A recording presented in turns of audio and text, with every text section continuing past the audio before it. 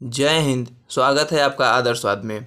दोस्तों, आज की इस वीडियो में हम बात करने वाले हैं भारत के air defence system S four hundred और पाकिस्तान के air defence system H Q nine के बारे में। दोस्तों, भारत और पाकिस्तान के इन एयर डिफेंसों की तुलना हम आज करेंगे। दोस्तों, बात हो अगर दुनिया में दो दुश्मन देशों की तो भारत और पाकिस्तान एक दूसरे के बड़े दुश्मन माने जाते हैं। पाकिस्तान और भारत कई युद्ध लड़ चुके हैं। पाकिस्तान हर बार हारा है लेकिन उसके पास अब कई अत्याधुनिक हथियार है, ऐसा उनका कहना है।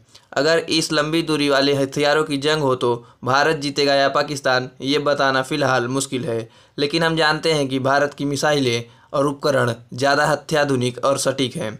पाकिस्तान का एच क्यू नाइन चीन से लिया हुआ है, जबकि भारत का एस फोर हंड्रेड रूस से आया है। आइए देखते हैं दोनों में से कौन सा एयर डिफेंस सिस्टम बेहतरीन, खतरनाक और सटीक है। दोस्तों, देखते हैं लेटेस्ट कौन सा मिसाइल सिस्टम है। भारत का एस फोर हंड्रेड या पाकिस्तान का एच क्यू नाइन पाकिस्तान का H Q nine air defence system चीन ने बनाया था।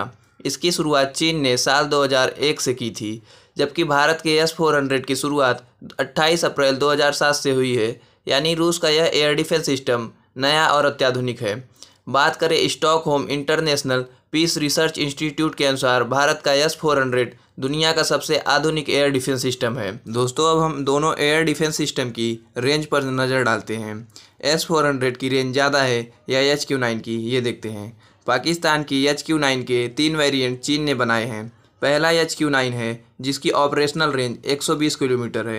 एच क्यू नाइन ए की रेंज 200 किलोमीटर है और एच क्यू नाइन बी की रेंज 250 से 300 किलोमीटर है, जबकि भारत के एस फोर हंड्रेड के चार वेरिएंट हैं, जिसकी रेंज 40 किलोमीटर 120 किलोमीटर 200 से 250 किलोमीटर और सबसे अधिक 400 किलोमीटर है। यानी इस रेंज में आने वाले दुश्मन की मिसाइलों का अंत आसमान में ही निश्चित है। दोस्तों, अब देखते हैं इन दोनों एयर डिफेंस सिस्टम यानी एस फोर हंड्रेड और एच क्यू नाइन की स्पीड पाकिस्तान की एच क्यू नाइन की अधिकतम गति मैक चार से अधिक है, यानी उनचास सौ किलोमीटर प्रति घंटा से ज़्यादा, लेकिन उसके तीनों वेरिएंट की गति का खुलासा नहीं किया गया है। भारत के पास मौजूद यस फोर हंड्रेड के चारों वेरिएंट की अलग अलग गति है। 40 किलोमीटर रेंज वाले की गति इकतीस किलोमीटर घंटा है, जबकि 120 किलोमीटर रेंज वाले की स्पीड लगभग तीन हज़ार छः सौ पचहत्तर किलोमीटर प्रति घंटा है। और वहीं बात करें 200 से अढ़ाई सौ किलोमीटर रेंज वाले की गति तो यह है सात हज़ार दो सौ पचासी किलोमीटर प्रति घंटा। और बात करें 400 किलोमीटर वाली रेंज की तो इसकी गति है सत्रह हज़ार दो सौ सत्तासी किलोमीटर प्रति घंटा। दोस्तों, अगर हम बात करें कि दोनों एयर डिफेंस सिस्टम की मिसाइलें हवा में कितनी ऊंचाई तक जा सकती हैं तो उसकी बात करते हैं पाकिस्तान की H Q nine air defence system की मिसाइलों की अधिकतम उड़ान क्रमशः 12 किलोमीटर 41 किलोमीटर और 50 किलोमीटर है, जबकि भारतीय S four hundred air defence की मिसाइलों की 20 किलोमीटर 30 किलोमीटर और 60 किलोमीटर की ऊंचाई तक जाकर दुश्मन की मिसाइलों को वहीं ख़त्म कर सकती हैं। यानी दुश्मन की मिसाइल ज़मीन पर आने से पहले ही ख़त्म हो जाएगी। दोस्तों, अब देखते हैं दोनों एयर डिफेंस सिस्टम की मिसाइलें अपने साथ कितना वॉरहेड ले जा सकती हैं। दोस्तों, पाकिस्तान का H Q nine missile system 180 kilogram वज़न का हथियार लेकर उड़ सकता है, जबकि भारतीय S four hundred anti ballistic missile system 24 kilogram और 180 किलोग्राम के हथियारों को लेकर उड़ सकता है। कम रेंज और छोटी दूरी के लिए 24 किलोग्राम का हथियार काफ़ी है। वहीं बात करें लंबी दूरी और तेज़ गति वाली मिसाइलों के लिए तो उसके लिए 180 किलोग्राम हथियार लगाकर दुश्मन का बड़ा मिसाइल को वहीं हवा में ध्वस्त किया जाता है। दोस्तों, एक बार में दोनों मिसाइल सिस्टम यानी दोनों एयर डिफेंस सिस्टम कितने टारगेट्स पर हमला कर सकती हैं? पाकिस्तान की H Q nine air defence missile system एक बार में कितने टारगेट पर हमला कर सकता है? इसकी जानकारी दी नहीं गई है। दोस्तों, बात करें एस फोर हंड्रेड की तो। S four hundred missile system अपने टारगेट को ध्वस्त करने के लिए दो मिसाइल लॉन्च करता है। अगर टारगेट एक मिसाइल को चकमा दे भी गया तो उसका दूसरे मिसाइल से बचना लगभग नामुमकिन होता है। दोस्तों, अब देखते हैं कि ये दोनों एयर डिफेंस सिस्टम्स किस तरह के टारगेट पर हमला कर सकते हैं।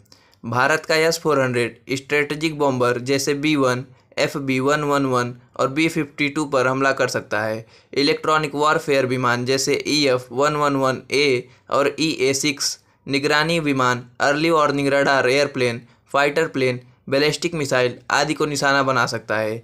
लेकिन पाकिस्तान की H Q nine missile system कितने तरह के टारगेट को निशाना बना सकता है, इसकी जानकारी इंटरनेट पर ओपन सोर्स में मौजूद नहीं है। दोस्तों, भारत के S four hundred air defence system के पाँच सेट मंगवाए गए हैं। वहीं बात करें, भारत और पाकिस्तान ने किन देशों से अपने एयर डिफेंस सिस्टम लिए हैं? तो भारत ने रूस से एस फोर हंड्रेड लिया है और वहीं पाकिस्तान ने चाइना से एच क्यू नाइन लिया है। दोस्तों, चाइना ने भी अपना एयर डिफेंस सिस्टम पाकिस्तान को तो बेचा है, लेकिन खुद अपना एयर डिफेंस सिस्टम मज़बूत करने के लिए रूस से भी एयर डिफेंस सिस्टम परचेज़ किया है, जिससे यह पता चलता है कि चाइना को खुद अपने एयर डिफेंस सिस्टम पर भरोसा नहीं है, जिसको उसने पाकिस्तान को बेचा है। जिससे एक बात साफ़ हो जाती है कि जो चाइना का air defence system H Q nine है, वो स्पेसिफिकेशन के मामले पर, कागज़ पर आगे दिखता है। लेकिन वार में वो कैसा प्रदर्शन करेगा, ये देखने वाली बात होगी। दोस्तों, जो चाइना इक्विपमेंट बनाता है, वो जो कागज़ पर तो अच्छे दिखते हैं, लेकिन अभी तक वो वार प्रूवेन नहीं है। मतलब वार में इस्तेमाल किए नहीं गए हैं। दोस्तों, लेकिन रूस से जो भारत सामग्री खरीदता है, वो वार प्रूवेन टेक्निक्स हैं। उसको कई बार में यूज़ किया गया है। तो दोस्तों, आपको ये वीडियो देखकर एक अंदाज़ा लग गया होगा कि दोनों देशों में से, यानी भारत और पाकिस्तान में से, किसके पास बेहतरीन एयर डिफेंस सिस्टम है। तो ये रही आज की वीडियो। हम आपसे मिलेंगे एक ऐसी वीडियो के साथ। तब तक अपना और देश का ख्याल रखिए। जय हिंद, जय भारत।